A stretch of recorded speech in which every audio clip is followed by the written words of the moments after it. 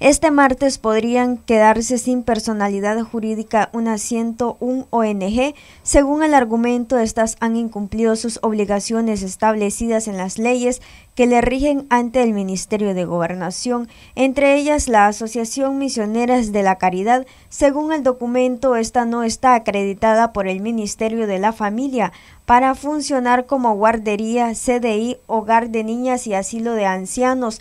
No tienen permisos de funcionamiento del MINED para realizar reforzamiento de aprendizaje y que los estados financieros reportados al Ministerio de Gobernación no coinciden con los documentos presentados en la supervisión. Ha hecho el día a día la Asamblea Nacional, porque así es como lo hemos llamado, el día a día de la orden del día que ha retomado la Asamblea Nacional, estar de moda las cancelaciones de personería jurídica, una vez que la Asamblea Nacional en su momento pues eh, concedía muchas personerías jurídicas, especialmente a la iglesia evangélica, pues hoy, hoy estamos viviendo en nuestro país cancelaciones de personerías jurídicas de un montón de asociaciones, fundaciones sin fines de lucro que de una u otra forma incidieron en, en el quehacer en nuestro país.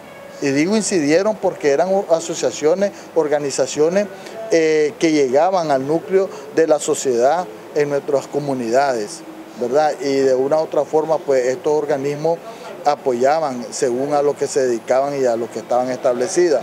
Sin embargo, eh, hay que ser muy sincero, ¿verdad? Muchas de ellas, y lo voy a hablar de esa manera, muchas de ellas eh, hoy están sin ninguna función y les están haciendo un gran favor en cancelarle su personería jurídica, porque eh, algunas de ellas pues no están ejerciendo sus funciones, no están cumpliendo directamente con el Ministerio de Gobernación con las condiciones establecidas que, en sus funciones como tienen que ser, a como hay otras pues que quedamos en incógnita de por qué son canceladas. Espinosa dijo que indirectamente muchas de estas cancelaciones generan desempleo. Muchas eh, personas trabajaban internamente en, el quehacer, lógicamente, de, lo que estaban dedicadas estas organizaciones, porque, eh, ¿cómo les podría decir?